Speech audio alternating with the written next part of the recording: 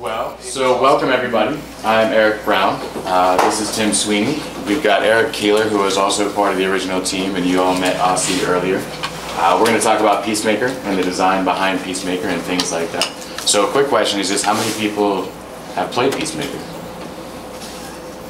All right. So then some of you will see it for the first time. How many of you have heard about it before today? Okay, all right, great. So since Asi gave a lot of background information, we're going to be starting with opening up the game, and then we're going to just talk through a lot of the stuff that you're going to see. You got to get that on the right screen. Let's go.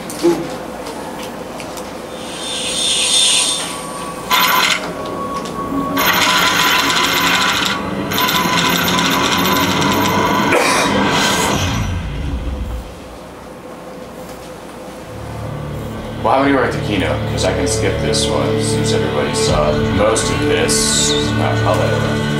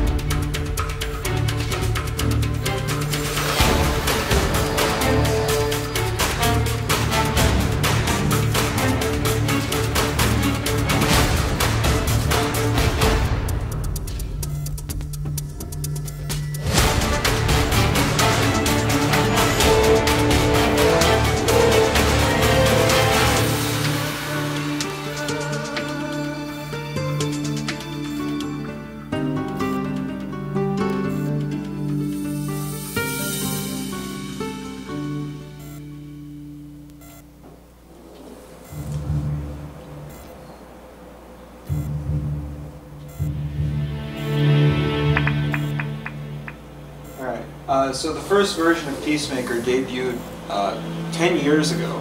Uh, 2005 was the very first version, uh, and this is the much more expanded modern version uh, that came long after that first prototype here at the ETC 10 years ago. Some of the things that immediately come to mind looking at this page is the languages. You want to go hit the language section first? Think this is one of the few games in the world that actually has a English, Arabic, Hebrew language selection, um, but it, it's, it's kind of obvious when you think about it why. Um, I mean, I guess I'm going to jump in on that one. So, we had talked about a bunch of things. We were going to show a bunch of slides in the design. We were just going to sort of walk through this one, and me and Tim got a chance to catch up, and we thought a lot about the things that are going on in this space now and what we thought about when we were making the decisions back then. So, I think we're just going to jump in whenever something jumps to us. But so, one of the things we talked about was there's a lot of games out now that are doing what a lot of people asked us about back then, which was making sort of metaphorical games. So you see games like Papers, Please and things like that that are based on sort of hypothetical situations that are driving to get that transformational experience by giving you the experience but not really tying it to real people, real issues, using photographs, things like that. So I guess the thing that that intro video and some of the things we're going to get to in the game, using actual real video footage, real images from the conflict, and actual conflict and the use of the Israeli-Palestinian conflict as opposed to sort of a hypothetical conflict, um, was a, an important decision early on that um, obviously impacts a lot of the field. And I think our discussions back then and some of the things that went on were that it was very important that it was about real people and that it was tied to something real and that you got that emotional response and that we used real video footage and real photographs to make sure that we drove home that it was actually a real conflict about real people. And so I think it's been interesting to see the approach now going on where they're taking sort of the other bent and doing a lot of sort of metaphorical games about issues and there aren't a lot of games that are using real conflict um, or real issues or real people. But that was obviously um, a huge impact from, from what we did and something that we had to be very sensitive about when we were using uh, media in the game. Something you might also pick up on, this feels like a real game. Like this is a title screen from a game. This is not from some sort of weird thing. This feels like a game. It has gamer DNA, it has games DNA deep inside of this project. But it also had the realism that we were trying, that, that is achieved by showing you the real thing. So a lot of that is, there's this translation effect between the real conflict and the gamer conflict. Um, so that's one of the tensions that we struggled with while building it, but um, might as well just start her up. And this is the first choice that we present everybody with uh, once they choose to start is, hey, take a seat at the table. Who do you want to be? Who are you going to be for the next 30 minutes? Um, so I guess another sort of design choice that, that went on early on in the project and things like that I think is worth speaking to is, I mean, one is you always have to choose who is the player going to play because, I mean, that's obviously crucial. And for what we were trying to do, it was very much sort of the balance between you need to have empowerment so that you can take actions. Because if you're just somebody on the street that can't actually empower or impact anything, then what is the gameplay and what are the choices that the player's going to have and things like that. So I guess that's reflected in that you are the Palestinian president and the Israeli prime minister. Um, the goal is to experience it as a person, um, but you have to choose roles that actually have actionable things that they can do in the game. The second part of the screen that drives home is uh, it's about walking a mile in somebody's shoes. And in a conflict, it was obviously very important that we had both perspectives. So the team started off by doing the Israeli prime minister, um, but realized that it had to reflect both sides of the conflict. If it was going to be an experience, that if somebody played it, they got the full picture and they had the chance to experience the other perspective of what they might internalize and things like that. Um, so even in that, just the fact that you can play both sides and the gameplay is very different for both sides is something that's different than a lot of games. In a lot of games, they'll choose one perspective and you play that, and that's how you get the experience and the understanding. For us to get the full understanding, you had to give two different games, essentially using the same mechanics, um, but different underlying engines to experience both of the perspectives. So let's start with one. We'll, we'll randomize it. Uh, and this is a difficulty selector. This is also, this is something very common with games, but this is also a choice. Uh, you come, everybody comes to this game with some level of preconceived notions. Everybody comes to it with some sort of ideas in their heads before they sit down to it. One of those ideas is how violent, how, how really tough the problem is. And allowing them to make statements like this about how they view things it, it filters into the actual underlying game mechanics. So if you believe that ultimately it's a terrible place and things are going crazy, you can make that statement to us as the game developers here, and that gets reflected. Um, we push back on the players' preconceived notions through the game mechanics. One of the things about the mechanics, the mechanics of a game are the message of the game, and that's very present here in, in, in Peacemaker but this is one of those ways that you can come back on that. Sure, and we'll get into what this actually drives in terms of the game. Um, the other one is just that for us, it's important that you can actually win the game. I mean, part of the whole experience is that we want you. I mean, it's called Peacemaker. It's it's supposed to have some um, empowering effect on the players. So when we were tweaking and tuning the game and how difficult it was to win and things like that, I mean, for some people, they thought for realism it should be very difficult and you should probably lose more often than you win because, you know, did we actually come up with a solution? Um, but it was also important that somebody would be able to play it repeatedly and hopefully win the game at some point so they can have that, that sensation of feeling like it is possible and that there is a way to do this. And so some of that is, if we made the game strictly the violent difficulty level and the casual player never won the game, did they really get the experience that we wanted and have the chance to walk away with sort of a positive feeling about what could happen in the conflict and things like that? How are you feeling? Yeah, let's let's let's play some rounds. I, why don't you play and I'll, I'll narrate. Sure enough. Uh, so we are the Palestinian president, uh, and we're being told, okay, we're going to enter our term of office here, and uh, we're going to have some ability to make some change. Uh, this is very, this is a very gamer-focused mechanical structure. It's a strategy game. I'm going to be a leader, and I'm going to take actions, and then stuff is going to happen. Uh, but very right off the bat, uh, something happened that I didn't account for, uh, which is this is a, a, news event, a bulletin that's occurred. Uh, this immediately grabs me into what the heck uh, is going on that I have to respond to. This is the first news event uh, that occurs that I have to think about what my reaction to this is going to be. And from the perspective of a game mechanic, my actions are uh, my tools that I can use to respond to this, which are the choice of those tools was a very important piece of, uh, you know, so Sure. we can- So just jumping in on one last one of this, I mean, this was before it all got packaged together and everything, and we put the video at the beginning. This was the same thing that I was speaking about before, which this event and being able to watch that video and things like that was supposed to drive home immediately to the player that this is real people, that there are serious consequences and, and life loss and things like that. So both of them were very dramatic from each perspective. Uh, So my tools on the left, actions uh, that I can take, uh, political, military, constructive. Uh, There's also, I've got score bars, I've got the watches, I've got all of the various players in the conflict, I've got their opinions of me, I've got, uh, I've got global opinion, I've got my own internal opinion of my own regime, sort of the the faith that the people have in my ability to lead them.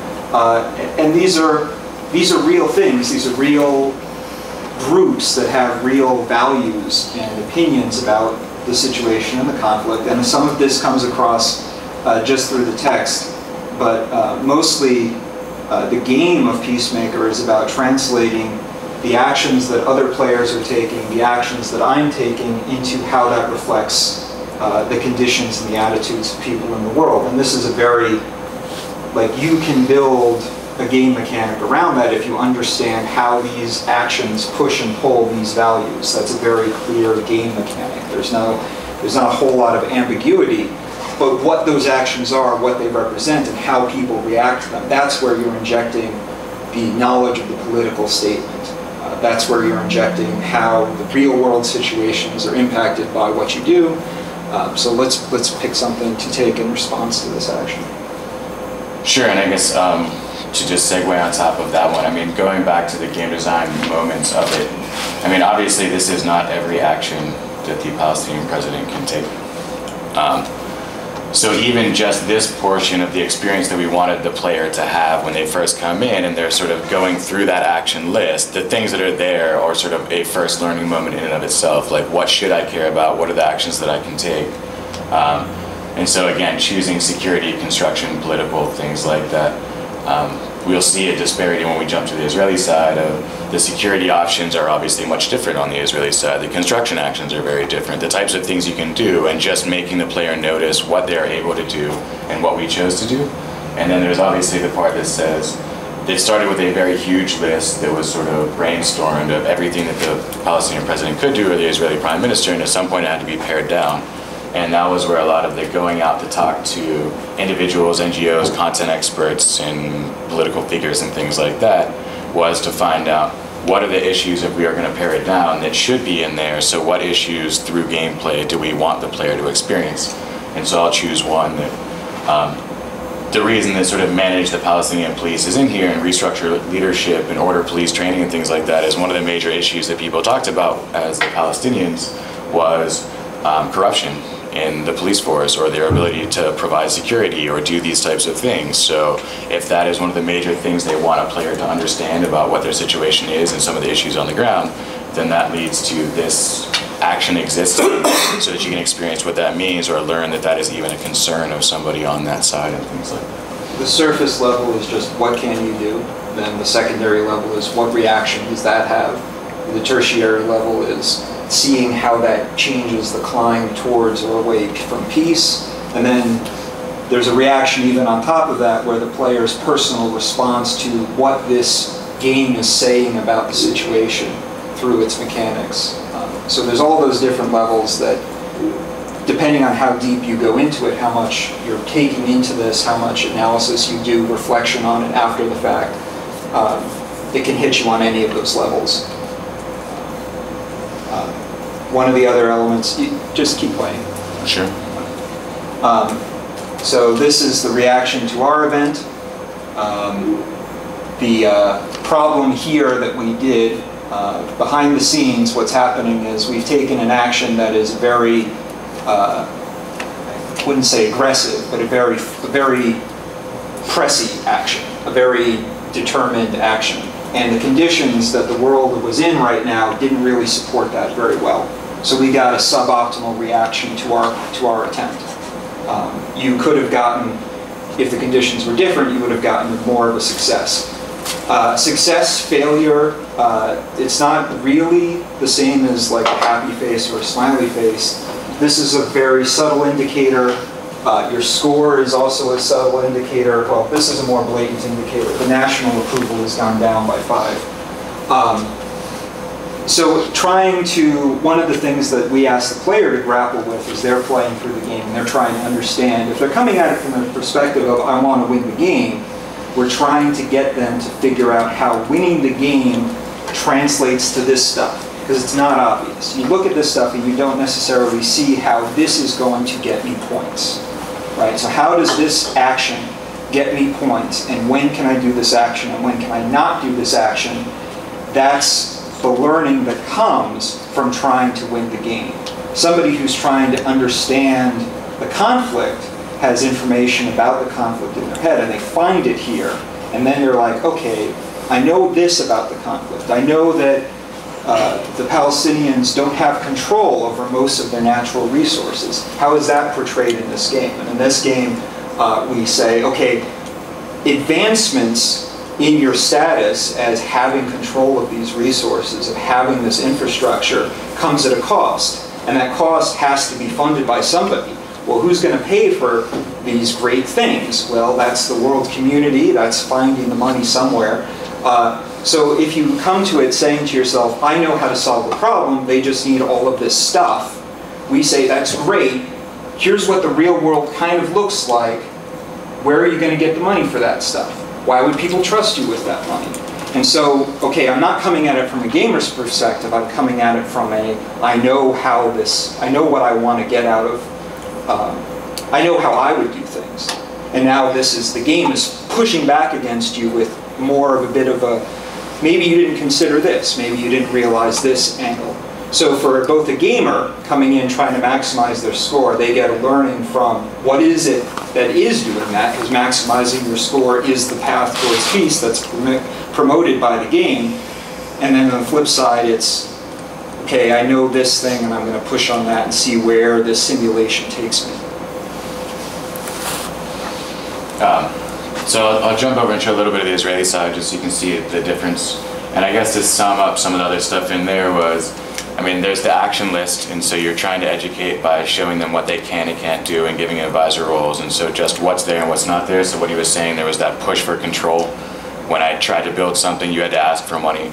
None of that stuff exists on the Israeli perspective. So just having to reinforce and do that every single action, like he's saying, sort of ingrains that. If you came in thinking like just do these things, your inability to do them, or the fact that when you take them, it is like sort of these turn-based strategy game. Um, genre. So I mean, it is all about action and feedback. So you get both that first one that says the first thing we might teach you is that the outcome is not what you expected, and you thought, well, everybody would want to fight corruption, so why did I fail at doing that? And then if I failed at doing that, why did it lead to a negative score? Because it made me look weak in front of the people. I didn't have the buy-in. All the stuff that goes into those. But the basic game design is just you get the, the visceral feedback from the sort of contextual journalistic approach to we took real world stories and put that content in there, so you get that you get sort of the everything is not like you seem because some things are going to re respond positively and negative depending on the outcomes and things like that. So you get a little bit of that complexity. And then the last part is that score. There was a choice to have two scores because having one score was way too simplistic. I mean, essentially you're sort of modeling the zero sum game or things like that where something might be good here, bad here, and you got to kind of keep moving them up, and that's really what conflict resolution is about. And that wouldn't have been achievable if we just had one score, because you might see a net positive, but if you're ignoring all the other things, it was actually long-term a negative because it's not going to allow you to do other things. So those were some of the design choices in trying to put all those different feedbacks in because you needed to get to that nuanced feedback loop um, in what was going to happen. And the, the, the, balancing act here as the Palestinian president you're trying to discover, or you will, you will discover it as you play, is between the, the, the faith that your people have and your ability to convince them that you are for, for them versus how the other world, how the outside world views you and views your, your policies. Can I ask a question? Sure. Um, Like when you were marketing this, um, did you get any people's opinions that they felt that you might have had an agenda in the advice? And just like um, an example of like the World Peace Game, I don't know if you've seen it on TED Talks, John Hunter's World Peace Game, where he uses Sun Tzu as his advice. Like when you're giving this advice, where is that, what source is that coming from? And when do, do, um, how do people that um, play this game or review this game feel about the advice both given to the Palestinian side and to the Israeli side? I guess I'm thinking of it as like if there could be a game like for ISIS. I mean, ISIS is interesting that they use modernity, they use the tools of modernity to spread a message against modernity. And how would we reach those kinds of people to make a transformative Uh, we, we do, one of the things that we published uh, that I recall that comes to mind is there's a list of assumptions that went into Peacemaker. There's a list of places where if you agree with us on these topics, you can come into Peacemaker and get the full experience. If you have concerns or you don't believe in some of these assumptions, we're not sure, like- we say it out front, we're pretty sure Peacemaker is not going to have as much of an impact uh, it, because we can't, like, we haven't been able to reach common ground with you. I mean, so that, that that a player puts in a- like a profile and answers certain questions, is that what you're saying? Yeah, I mean, so a very straightforward one is to win our game, essentially the win solution at the end um, implies that there's a two-state solution. There's plenty of people that even work with us on the game that believe in the one-state solution. That changes. That's a very fundamental view of like how you would solve the conflict. And so he's saying that we, we posted all that stuff. And basically our way of dealing with that in terms of marketing was to say that um, these are things we had to do to make this game. And our goal was we met with as many people as possible to put their narratives in here, and we hope that by playing the perspective that you don't understand, that you'll learn something along the way. And if you don't agree with the, the end game of it, that's not really as important as that you took the time to think about it from their perspective. And so we've gotten a lot of support from that. So even the people that believe in the one state solution at the end of it would say that, you know, but I learned this, or I thought it was really good, or this was represented well. So I mean, you're never going to satisfy So that everybody. your perspective was given out, I guess that was my question, that you- you had a perspective that was already stated.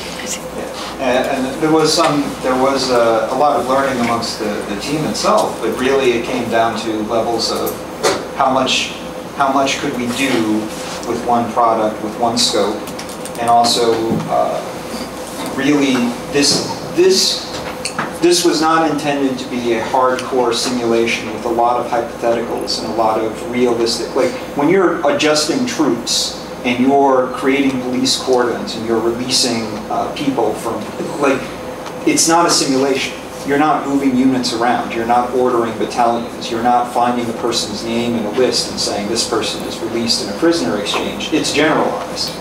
So there's a limit to how much authentic simulation you can put into something that is going to appeal to a mass audience, to be approachable to a mass audience.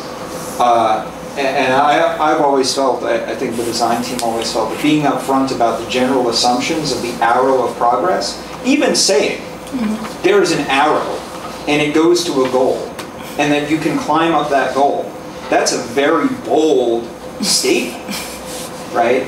That's huge. If you don't agree with that, then yeah, throw stones at Peacemaker. Build your own version of Peacemaker. Build your own thing that expresses your thoughts for how the world really works as a game mechanic. And that, that is, uh, as an expression, that's more and more prevalent now. But I really, I really haven't seen um, something quite, quite like this. But that, it also goes to the, the real world versus the fantasy worlds. The fantasy worlds, it's easy to say, this is my hypothetical, and nobody can challenge it because it's my hypothetical world. And the rules I put into it are the rules that are truth. Uh, so real world is always going to have exposure on it. In- I um, want to, I'm sorry, excuse me, I just want to finish this one off Okay. real quick. Um, So one of the mechanic, just from the game design perspective, that I wanted to show that I think is, was important to the broader experience of Peacemaker, was you got all of the actions and you get the feedback and some of the complexity from that. And then people would start to find the rhythm and they'd understand, like, okay, these are the types of actions, they're gonna have these kinds of things. They start to get into the flow of knowing what they're doing. We have these sort of random world events. So this is what happened after a couple turns. We hold off in the beginning so that you don't get overwhelmed as a player. Um, then these events will just happen. And they will have the same sort of effects that um, feedback would have. And this one's really just to say, as much as you then might want to criticize this person for like, why aren't they doing these things? Because it seems to work, is that there's lots of events that happen in the world that are outside of your control that can derail whatever you're doing. And so that beginning when we said calm, tense, and violence, it was really just how much events are going to be outside of your control that mean that you could start to get a flow and feel the game and, and make positive progress. And at that moment, we're going to derail you because that's part of the reality of, of the situation. You And so did- I just wanted to, You've been very heavy security on this playthrough, I'm guessing. Uh, Yeah, Your, your I did. Palestinian rating is um, minus and just negative stuff, trade restrictions. I was trying to force some issues to happen. Yeah, Uh, great. Eric, Yes, sir. did you guys speak about the tension, the core tension?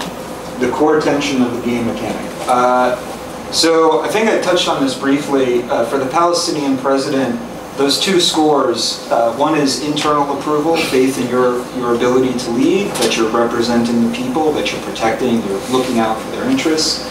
And the other is the, uh, the exterior world, uh, the ability to say, okay, you, you can be in charge. We trust that you're not doing the wrong things, uh, which often every action you take is going to piss off one side and make another side a little bit happier, or vice versa. So you've got a teeter-totter. How do I make progress in a game like that? Well, it's not exact. There's other things that happen behind the scenes, but they're not quite as obvious as the push-pull mechanic.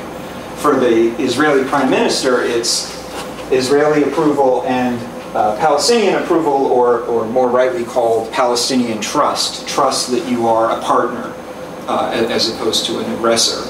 Uh, and right now, his actions have been painting him as an aggressor. So while he hasn't really achieved, he's achieved a modicum, he's got an Israeli approval of 12, he's achieved a modicum of faith in his people that he is watching out for the Israeli people, he's protecting their security. Uh, he's trashed his reputation on the Palestinian side. And interesting to sort of that dynamic was that um, underlying this and other side, so to, to some ways, there's sort of Israeli security, Palestinian trust. On the Palestinian side, that sort of triangle of it'll go one side or the other, and you have to balance them until they start moving the same direction, is about internal approval and world approval, because you see a lot of the things in the internal stuff, restructuring, working with Fatah and Hamas and things like that, requires that you, you manage those so that they'll agree to let you do things. And then there's a lot of asking for money and support from the external community, so it's world approval. So am I doing things that build internal trust at the behest of global, which means that I can't fund other projects and things like that. And those were sort of the core balance underlying each one of them. And so those sort of existed on boards in the room. And the security and trust one, after sort of came to that through trying to figure out how to balance the game, how to the core mechanics would work. Um, people started coming out and giving big speeches about how that was the underlying issue in the Israeli-Palestinian conflict, which was sort of interesting that we came to it through the, the mechanics part of games, and they came to it from the geopolitical side of it um, after the fact. So that was Yeah, we, we, uh, we, when we were originally trying to figure out what are the mechanics underpinning this game, uh, like we know the topic, we know the point, we know what the win condition is, what are the what are the turn-by-turn mechanics. Uh, that was very hard to determine because the other work in that area had all been very detailed to simulations, where you would have like a, uh, simulations where people would be given packets representing you are this person, this is what you care about, let's all have a uh, fictitious sit down where we're all representing, role playing each other's views. It's very soft. There's nothing that we could really drive a, a game with numbers. Like you can't, if it's about understanding the other person's side, how do you make that a game about numbers? They seem at core conflict. Um, but we, we stumbled across uh, that idea of the push and pull where, okay, uh, it, it started off as a dice game, really.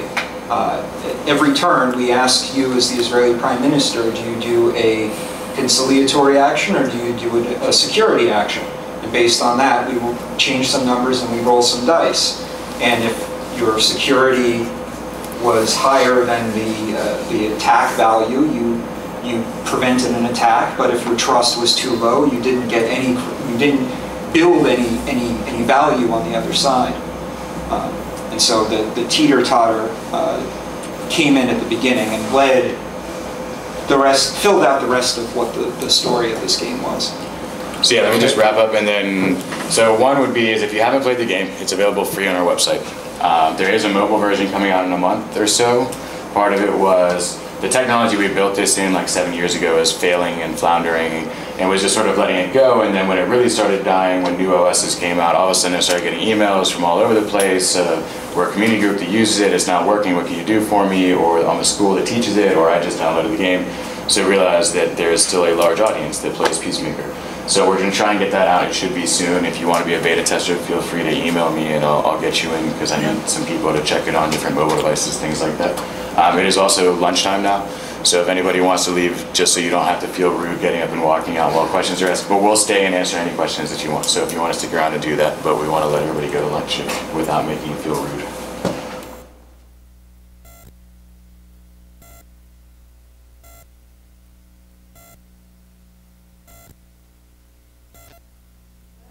I'm sorry, come? I wonder if you've had an opportunity to watch Min-Maxers play it, and if so, can you talk about what happened and, and how they experienced it or, or what they did? Because it seems like that, you know, that tension and the sort of, the, the context of the game um, are a little bit at odds with that, but I know those players are out there. Um, and in fact, I'm pretty sure Tim is one of those players. We, well, well, I, I designed this game to you want to foil people to like the me. rest of the group Oh, okay, case they don't- so, so, uh, the, the, the story, the, the, the- the experiential story of a true person who has played a lot of games, sits down in a game like this, and they say, I understand the ebb and flow of these mechanics. The way to win is press this button, this button, this button, this button, this button, but, but, but, but, and now I win. And say, okay, this has maximized my score, I have managed to succeed. Or they find some degenerate case. They're like, if I do things in this exact combination, I can win by just doing Apache strikes. Well, so, something like that, like completely foil the game mechanics. Uh, the game mechanics compared to your average gamer's game are deliberately, uh, they, they're obscure. We, we, we hide them at a distance. You don't exactly see what lever behind the scene is causing your police action to have a suboptimal effect. Um, you'll discover it over time, but it's more about evoking a mood and evoking a sense of, I understand kind of what's happening here, rather than mathematically, I predict that this will happen in response to this. And there's a tremendous amount of behind the scenes just fuzzy logic and die rolls. Like, these conditions that you can see can be identical 100% and you'll get different results because that's just somehow how it happens. So two things on that one is part of it is those. I mean, the the randomized events is partly because it's part of the educational tool. It also means that no two plays will ever be the same, and we will derail that, which means that you can't just publish, you know, ABBA up down up down left right that that whole thing. Um, the other one is so I've also witnessed people doing it. So kids, I mean, adults will play. They play very slow. They read everything. They think about everything, and then we would put it in front of kids, and it's just like bam, and they're just pressing stuff, and you're assuming that they're doing that, and some of them are doing that. And then at the end of it, you have a conversation about the conflict, about the issues, and even in the process of playing like that, they internalized a whole lot of what we actually wanted them to internalize. So it's sort of like they're gonna do that. You hope that you don't accidentally design something that they will get the wrong. I mean, the fear is always that they find a hook that then they talk about that says, I figured out I could blow up the country and win the game because we left some hole that was unintentional. Um, so we just did a lot of play testing to try to make sure that that hole wasn't in there. And then we just saw that people would still get something from it, even if they were trying to do that, because by doing that, they still had to inadvertently learn something. There's a really lousy way of handling some of it, which is there's a mechanic inside of the, the system that prevents you from just repeatedly doing the same actions over and over again. Right. Like Some other speeches are generally so you're good, also kind of obfuscating, experimenting with the system in some ways, as well as themselves. Yeah.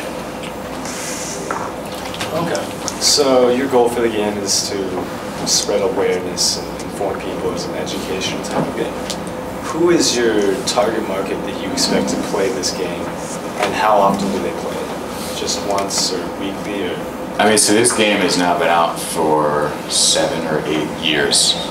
So really, you have to go in a way back machine to when we were making it, and like the motivation behind Asi and the original pitch team was just we're just going to prove that this can be done. So there wasn't really thought about who's the end user and how big is that market. It was can we show that a video game can cover a subject this sensitive, do it well, to prove that games can be more than Grand Theft Auto at the time. Um, as we turned it into a business and we're looking into all of those types of things to figure out who is that demographic. I mean, this is stuff me and Tim wanted to talk about. There's just limited time. I mean, distribution channels are the biggest obstacle there, right? You're you're still fighting to this day that it's a game, but do you put it in the games market? Do you put it next to books? Do you put it next to documentaries? Where is the right place to reach the audience that wants to play these games or to prove that they are for them and things like that? So just a lot of things in that realm have changed that make when we release Peacemaker Mobile, it'll be very interesting to see because those distribution channels didn't exist. So we were going to, I mean, they've changed and not changed. So I guess one thing I wanted to talk about was back then would go to like Microsoft Casual Games to try and get it, put it in their marketplace, and they said we can't do it because it has flags and real people. So you would think that games have changed a lot, and there's a lot more appetite for these types of indie games but still fairly sure that we'll get rejected by the App Store. So it's like different players, same result in terms of getting our, our product to the audience. But also, like to Asi's slide, now the average demographic is 35. Seven years ago was a little different, and people didn't perceive it. So we would go and give presentations, and there would be the the 40 year old law student in conflict. It's like this is great. I can't wait to give it to my son, and then we'd have them play the game. They're like, this is amazing. Now that person's not embarrassed to think that like I should play games. So hopefully we can actually get to that audience that when we first distributed it wouldn't play it because they just assumed it was a game, so it's not for them, and that perception has changed in the last seven years. So we'll see. Um, but I guess we don't have time to go into all the different marketing channels we went to. But it, once it went out, it was anybody, which is always a great answer for marketing. And then partnering with the Peres Center to actually get it free in the hands of people in the actual region and community groups that use it for the the benefit of it is a great conversation starter and eye opener and transformative game. So in terms of direct impact, that was what we did to make sure the people that would be directly impacted had access to the game with people to facilitate it. And then broadly in the world, it's been played all over the world, like 80 different countries. It still gets downloaded, things like that. So people find their way to it. To Tim's point, a lot of them might be people who are preaching to the choir on some level because it's called Peacemaker. You're going to show up. You're probably not going to be um, a terrorist coming to play Peacemaker with the thought that maybe I should open my mind. But I mean, that's a sort of a different challenge altogether. Um, did you guys adopt any particular mechanical or narrative strategy um, for disarming political biases of players? Is that something that you considered, like, how do we actually do this with this game? I would. Disarming, uh, so, so one of the, one of the main tools uh, that went into the game design guts was you can't, you can't win with a simplistic approach, right? Tried to make it so that just hitting the conciliatory actions every turn, you'll lose every time. Hitting aggressive actions every turn, you'll lose every time. So for a large majority of the people coming into it, at least in my, my experience, they, they tended to swing, they, they, they tended to have like in their heads either this is the approach, this is the approach, or I don't know what the approach is, it's an unsolvable problem. And all three of those mindsets would be, could be transformed by Peacemaker. It, it, hit, it hit each of them. For the people who said it's unsolvable, here's a solution. Oh, it's unrealistic. Well, why? Now we're asking the question to you. Why do you think it's unsolvable? Why is this wrong? For people who press one button or the other, you're like, you're not looking at it from the other person's perspective, right? So that's, that's the most uh, comprehensive uh, thing that I can come up with. And mine would just be if you're saying, did we work with social psychologists to understand bias and how you do that and what are the types of interactions to do that? I mean, when you look at a game like this and other people have this issue, I mean, you, people were always asking us, what is your conflict resolution model that you're building this off of? And so we had lots of people that worked in conflict, excuse me, conflict resolution that had their models that we could have statistically mirrored ours off of. That becomes a whole project in itself that takes lots more time. we could have worked with social psychologists, we could have worked with things. We chose to just go the approach of um, we're going to go and meet with a bunch of people to get their perspective and try and build the narrative and see what happens just because of resources. I mean, doing all of those things simultaneously would be great, but it also can muddle the waters in terms of our end goal was just to user test and what was the, the takeaway from the players and fudge things as needed to not hold to some um, published conflict resolution theory out of Harvard or something like that. And it'd be great to incorporate a lot more of that stuff in there. It was just ours was from the experience response user testing, not the, the model um, mapping approach to design, I guess would be one way to look We at it. had, we had to make it compelling enough as a game to stand on its own as a game, because we were going to try to reach people who would play a game. Uh, And if the game was not, if the game wasn't playable, if the game was more of a, an an expository piece or something, we, we wouldn't have gotten that audience. We also had to build something rather quickly too in 15 weeks, so that limits your ability to do research and incorporate a research program into a product such as this. Right, and then just, yeah, I mean, I think some of that is the, the model mapping starts putting you down the, the civilization level of complexity and, and radically alters the scope of the project and, and loses sight of the end user experience as the, the key issue that we were going after. So you were talking about um, dealing with uh, kind of min-max approaches to the game and kind of wanting to thwart them a little bit by um, having the reaction system be very complex and then also having certain random elements. And then on the other side, we were just talking about people that play the game, their approach doesn't work, and they just think, well, it's an insoluble problem, right? But how do you balance those two? So, I mean, you want it to be a soluble problem, but you don't want the uh, you don't want the reaction system to be like utterly obscure. You don't want the random events to be So derailing. so like oh you know because if you get enough random events and you don't quite understand the reactions you're getting, I can see a player very quickly arriving like well this is meaningless, You which is kind and of what a lot of Westerners think about the conflict to begin with, which is really bad. Then we're reinforcing negative stereotypes and things like that. And that's the Um, secret That's why you go back and, Yeah. and play on calm, and we'll take it easy on you a little bit. more. Okay. Were you I talking mean, to there other are other people? there are other things did they do? that yeah. I mean, so kids will just keep playing until they win. So that audience is great for games because they won't throw up their arms and be like, "This is ridiculous. It's unwinnable." Because they'll rise to the challenge and they'll just play faster until they get to the end. Um, with older, slower players that are going to read everything and think about it, I mean, we do run into that. They still get some learning along the way. We hope that the replayability. I mean, ultimately, another part is is the game. If you're playing quickly, I mean, it's not that long. I mean, you can win in an hour each side, if not less. Kids will do it a lot faster. So that's also a choice that even back then we were choosing to make it a casual game in the realm of that. It is even way more casual now because we understood that both the subject matter, the complexity of it had to be simplified to get it all across in a shorter experience because nobody's going to sit down and play 40 hours of the Israeli-Palestinian conflict. I don't care how engaged in the subject matter you are, that's, that's heavy. But even, even compared to something on mobile today, like a match three, Peacemaker is definitely, it's, it's a much harder, harder game to grapple with. So it's, it's got a complexity to it. Uh, That's kind of undeniable. It also works in our favor because the more complex seeming a simple simulation is, the easier any weird things can be ascribed Because you don't know Uh, where it pe- comes from. Yeah, people have all sorts of, in, i like, one-off reactions where something really hit, and that's not intentional. Yeah, and so going back to your social psychology question, so there's been a bunch of people that did research on it since then. And so we always saw in the beginning, people gravitated to saying one side was harder than the other. Like I was able to win this side, but not this side. And then it was just interesting because that would flip flop. So then it made that we didn't really design one side harder. There was biases coming into the game that made it harder for them to take action choices that made one seem easier or harder than the other. So I mean, I think that's where we started thinking we won is that if you have people telling you that each side is too hard or unwinnable, but then other people saying the opposite, that we probably landed somewhere in the middle, Yeah. and so we're all right. Did anybody figure out that the whole point was that their biases were, were making it hard for them to succeed? Do you, I mean, you, did you, did you get any feedback uh, from individuals about that?